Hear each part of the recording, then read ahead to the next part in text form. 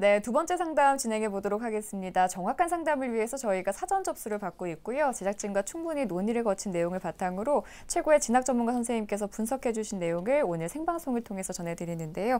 자세한 상담 위해서 어, 전화 연결해 보도록 하겠습니다. 여보세요? 안녕하세요. 네, 안녕하세요. 간단히 자기소개부터 네. 부탁드립니다. 이번에 대학에 재도 전하는 수험생 엄마입니다. 아, 그러시군요. 어머니께서 전화를 네. 주셨는데요. 우리 아이가 네. 재수를 했네요. 그렇죠? 네. 네, 정시와 관련해서 어떤 점이 궁금하신가요? 저희는 이제 이번에는 재도전이니까요. 네. 성적에 맞춰서 지원해야 될 것 같아서요. 음. 네, 그래서 그게 궁금해가지고 전화드렸습니다. 네. 네, 어머니께서도 조금 마음고생을 하신 그러니까, 목소리인데 어머니 저희 음. 상담 통해서 좀 좋은 결과 얻어 가시길 바라겠습니다. 네, 감사합니다. 네, 오늘 상담은요 서상원 선생님께서 해주실 텐데요. 선생님 먼저 우리 학생의 내신 그리고 가채점 점수를 조금 살펴주실까요? 예, 우리 학생의 내신이나 가채점을 갖다 화면을 보면 설명하도록 하겠습니다. 우리 학생의 전 학년 내신 등급을 보면요, 국어는 6.6 등급, 수학 3.8, 영어 6.4 등급, 과학 4.4 등급. 평균 5.14 등급입니다. 내신은 비교적 좀 안 좋은 상황이고요. 다행히도 지금 재수를 했는데 우리 학생이 수능 성적은 좀 비교적 양호한 편이에요. 어, 성적을 구체적으로 보면 국어 A는 원점수 94점에 2등급 예, 상하고 있고요. 수학 B는 92점에 2등급, 영어는 82점에 3등급 예상되고요. 과학 탐구는 화학 원은 42점에 2등급, 생명과학 원은 47점에 1등급으로 평균 한 2.13등급이 예상되고요. 전체적으로는 학생부 성적보다는 수능 성적이 매우 우수함을 알 수 있고요.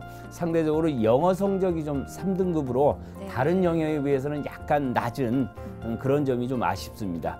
정시 희망대학을 보면 가군에는 한양대 생명과학과, 나군에는 경희대 유전공학과, 다군에는 중앙대 생명과학과를 희망하고 있습니다. 네. 자, 우리 학생의 수능 가채점 점수를 살펴보았는데요. 이제 내신과 수능 가채점 점수가 좀 차이가 있습니다. 우리 학생이 좀 졸업생인데 아마 재수를 하면서 공부를 열심히 해서 성적이 좀 올린 게 아닌가 네. 이렇게 좀 생각이 되는데요. 자, 그러면 이제 서사 선생님께서 우리 학생이 오늘 이제 정시 상담을 위해서 좀 주목해야 될 그 정시 지원 포인트에 대해서 좀 짚어주시죠. 예, 우리 학생의 정시 포인트를 화면을 보면서 설명하도록 하겠습니다. 일단은 제일 먼저 우리 학생의 수학, 과학 반영 비율이 굉장히 높은 대학, 영어 반영 비율이 좀 낮은 대학에 좀 지원 했으면 하고요. 두 번째로는 수능 100, 즉 내신 반영하지 않는 대학, 그 다음에 표준 점수 활용하는 대학이 좀 유리할 것으로 보이고요. 그 다음에 세 번째로는 재수를 하기 때문에 간 아군에서는 반드시 하나 정도는 안정 지원을 하길 바랍니다. 네. 자, 우리 학생도 이제 재수생이다 보니까 간호군에서 안정 지원이 좀 필수로 여겨졌고요. 우리 학생 정시 지원 포인트 짚어주셨는데 아무래도 이제 조금 더 신중한 전략이 필요해 보입니다. 예. 선생님 조금 더 구체적으로 어떤 방향으로 가면 좋을지 제시를 해주실까요? 예, 우리 학생의 정시 포인트 이제 구체적으로 보면 첫 번째는 어, 수학, 과학 어, 반영 비율이 높은 대학, 영어 반영 비율이 낮은 대학인데요. 우리 학생 같은 경우는 자연 계열이고 아무래도 자연 계열에서 수학, 과학 반영 비율이 굉장히 높은 편인 데. 분인데 수학 과학에 굉장히 좀 장점이 있다는 점에서는 굉장히 긍정적으로 유리하게 좀 볼 수가 있고요. 따라서 수학 과학 반영 비율이 최대로 높은 대학을 좀 지원했으면 하는 것이고 어, 상대적으로 영어는 이제 다른 영역에 비해서 좀 한 등급 조금 낮으니까 어, 그 부분은 어, 조금 좀 제외한 국어나 수학이나 탐구 반영 비율이 많거나 또는 어, 고기에 그것만 반영하는 그런 대학에 지원을 하는 것이 현명할 것으로 보이고요. 두 번째로는 아까도 봤지만은 내신이 수능과 너무 차이가 네, 네. 현격하게 차이가 나기 때문에 어, 아무리 그 그렇다 해도 지금 5등급 후, 후반대로 가기 때문에 어, 내신이 반영되지 않는 수능 백인 대학이 좀 유리할 것으로 보이고 가채점이긴 하지만 백분위보다는 약간 표준 점수가 약간 어, 유리하게 나올 것으로 보입니다. 그래서 표준 점수로 활용하는 대학이 어, 상대적으로 유리해 보인다 이렇게 보일 수가 있고 그 다음에 이제 우리 학생이 이제 졸업생이다 보니까 아까 어머님도 이제 올해는 꼭 보내야 되겠다고 했는데 사실은 이 삼수를 할 것인가 아니면은 여기서 진학을 목표로 할 것인가에 따라서는 원서 쓰는 그 작전이 굉장히 다르거든요. 그래서 우리 학생은 전투적으로 쓸 수 있는 상황은 아니고 안정적으로 진학에 포인트를 둬야 하기 때문에 가군이나 나군에 아무래도 모집 단위가 크고 하기 때문에 거기서 반드시 하나는 안정 지원을 가야 어, 삼수를 하지 않고 어, 할 수 있다는 점. 그런 차원에 본다면은 우리 학생 같은 경우는 아무래도 선택의 폭이 다른 일반 현역 학생들보다 조금은 좁지 않나 이렇게 생각이 됩니다. 어, 그래서 우리 학생 같은 경우에는 어, 지원 패턴을 안정 거기에 두, 두다 보면은 또 우리 또 부모님들 그렇게 말씀하시고서도 사실은 가나다군 다 욕심을 내거든요. 네. 그래서 특히나 그 다군에서 뭐 안정으로 하지 않, 아, 하- 하면 되지 않느냐 이렇게 얘기하는데 사실은 현실적 판단은 그건 잘못되는 것 같고요. 모집 인원도 적고 어, 예기치 못한 변수가 굉장히 크다는 점에서 반드시 가군 나군에서는 안정 지원을 하나 잡아놓고 어, 원서 계획을 세우는 것이 굉장히 중요할 것 같습니다. 네. 자, 이제 우리 학생이 졸업생이고 또 이제 자연계 학생인데 뭐 영역별 좀 차이가 있는데 뭐 다행히 수학하고 과학이 조금 더 우수한 네. 편이라서 또 유리하게 좀 작용이 될 수 있을 거라는 생각이 들고요. 또 졸업생이기 때문에 반드시 이제 한 곳에서는 합격을 할 수 있도록 뭐 욕심을 조금 버리고 안정적인 지원을 해 달라는 그런 조언을 좀 해주셨는데요. 자, 그러면 이제 우리 학생이 대학에 어느 대학에 어떻게 지원하면 합격 가능성이 높아질지 우리 학생의 어떤 유리한 그 영역별 조합에 대해서 좀 살펴주시죠. 예, 영역별 조합을 화면을 보면서 설명하도록 하겠습니다. 어, 우리 학생 같은 경우는 이제 표준하고 백분위, 그 다음에 어, 지금 1대 1대 1대 1하고 2, 3, 2, 3 또는 2대 2대 2대 1, 그 다음에 어, 국어를 뺀 수영과 이 네 개의 군으로 이제 부- 어, 지금 분석을 해봤는데요. 어, 아무래도 우리 학생은 수학하고 과학에 좀 장점이 있기 때문에 지금 어, 원점수 기준으로 아, 보면은 이제 510, 아, 이거 저 표준 점수 기준으로 보면 514점에 약 한 3.5% 정도로 가장 유리하게 보이고요. 그 다음에 지금 국수 영과 거기에 2, 2, 2, 1. 그러니까 영어의 반영 비율이 수학만큼 굉장히 높아졌죠. 그렇게 보면은 약 503점으로 한 상위 7.4% 정도로 좀 보입니다.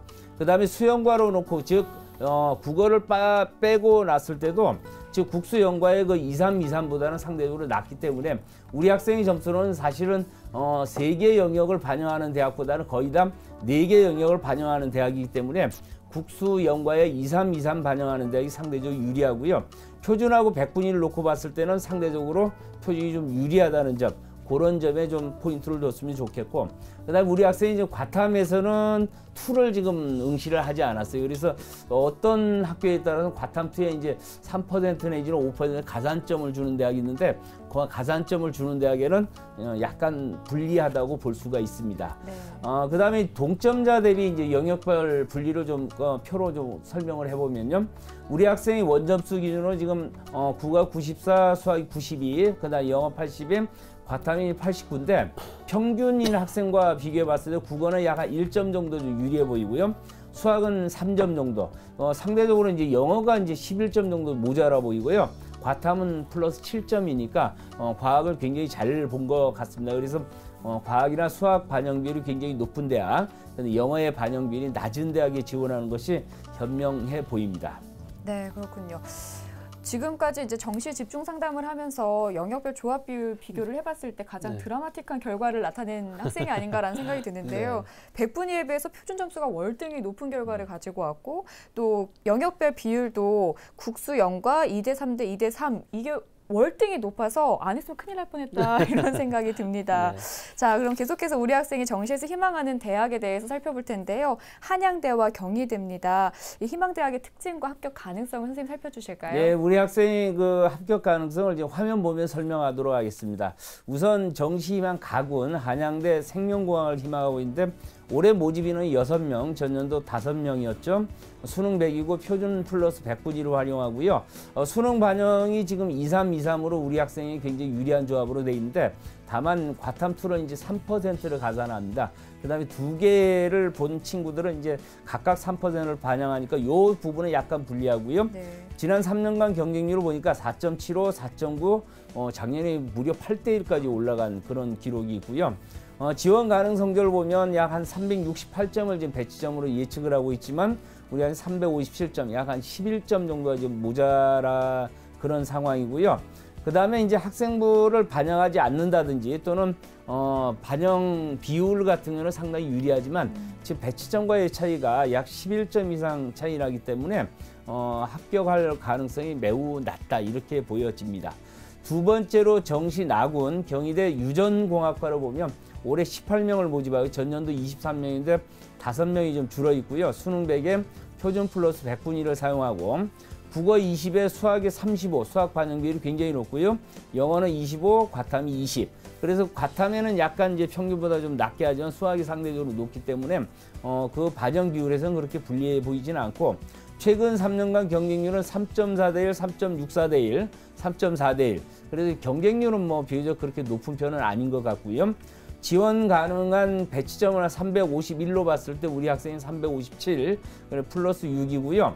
그 다음에 그 수학의 반영 비율이 높기 때문에 다시 또 유리한 조합이고 그 다음에 과탐투 가산점이었기 때문에 불리하지 않고 그 다음에 수, 어, 학생부를 반영하지 않기 때문에 전반적으로는 굉장히 유리한 조합이고 거기다가 우리 학생이 이제 배치점 자체도 이제 한 6점 정도 높기 때문에 어, 적정하다 어, 그렇게 보여집니다. 합격 가능성이 좀 꽤 높다 이렇게 보여지고요. 네. 다군의 중앙대 자연과학대학 어, 지금 39명을 모집하여 전년도에 23명이었습니다.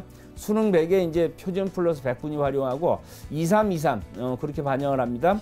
어, 저 전년 재작년에 4.9대 1, 그다음에 작- 작년에 4.41 대 1이고요. 배치점은 지금 360점인데 우리 학생이 357점, 약 3점 정도 약간 좀 모자라긴 하지만 지금 반영 조합도 굉장히 좀 유리한 조합이고요. 어, 과학투 없, 없기 때문에 가산점 없기 때문에 불리하지 않고요.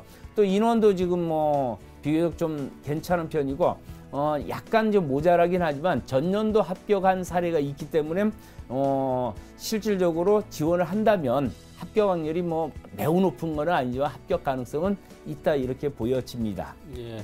자, 우리 학생이 지금 세 군데를 군별로 이제 희망하고 있는데 비교적 지금 뭐 적정하게 지원 전략을 좀 잘 세워놓고 있지 않은가 이렇게 생각이 드는데요. 그래도 이제 우리 선생님께서 조금 더 우리 학생이 좀 고려했으면 하는 그런 어떤 대학들을 중심으로 해서 정시 추천 대학을 좀 한번 조언을 해주시죠. 예, 화면을 보면서 설명하도록 하겠습니다.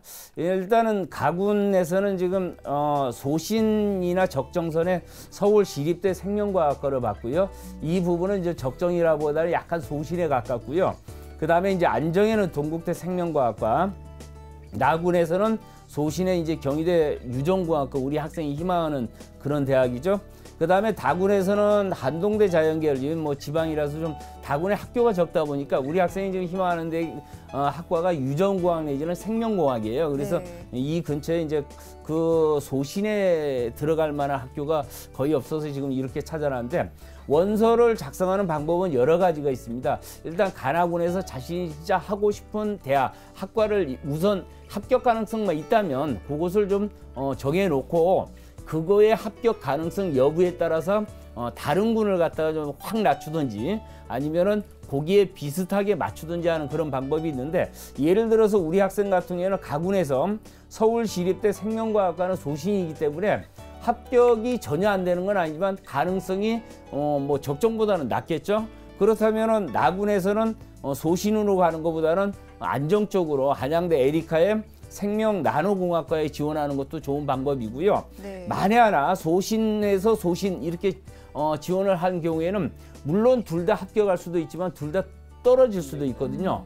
그러면은 사실은 어, 둘 다 떨어진다고 보면은 또 우리 학생 같은 경우는 또 한 해 더 해야 되는 그런 문제가 생기기 때문에 어, 우리 학생이 사실은 어떻게 보면 원서를 가장 잘 쓴 것은 어, 잘 쓴 것은 하나만 붙어서 추가 합격으로 들어가는 게 제일 좋겠죠.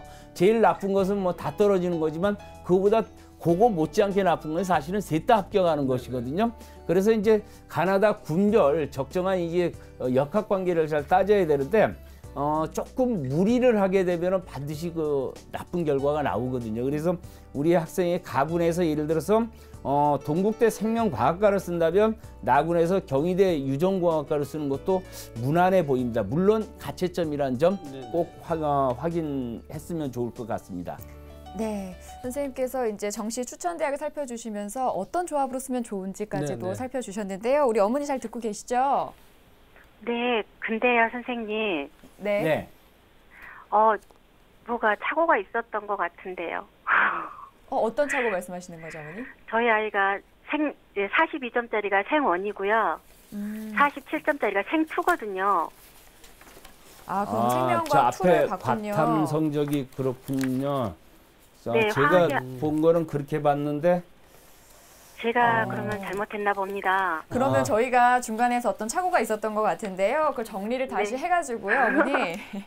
저희가 자세한 내용 다시 이메일로 한번 보내드리도록 하겠습니다. 저희가 생방 예. 끝나고 한번 연락을 다시 한번 드리도록 하죠. 네, 감사합니다. 네. 네, 어머니 저희 좋은 고맙습니다. 결과 있기를 바라겠습니다. 네, 너무 감사합니다. 네, 두 번째 상담을 네. 마쳤는데 또 이런 적도 처음입니다. 이런 착오가 있었네요. 네, 저희가 다시 그래도 한번 뭐 예. two 과목이면 이제 아까 우리 학생이 좀 불리했었던 그 가산점 부분에 있어서 그렇죠. 불리함이 좀 없어진 정도가 되겠고요. 그다음에 이제 과목에 따라서 표준 점수라든가 백분위는 원점수에 따라서 달라지기 때문에 점수 차이가 조금 있을 수 있을 것 같습니다. 그래서 우리 지금 이 프로그램을 신청하고 있는 비슷한 성적대 학생들이라면 그런 부분을 좀 참고해서 오늘 그 상담 내용을 좀 어, 활용하셨으면 좋을 것 같습니다. 네, 조금 더 좋은 결과 있기를 바라 겠고요. 지금까지 상담한 내용 다시 한번 정리해 보고 이 상담 도대체 어떻게 하는 거야 하시는 분들을 위해서 정시 상담 신청 방법 보고 오겠습니다.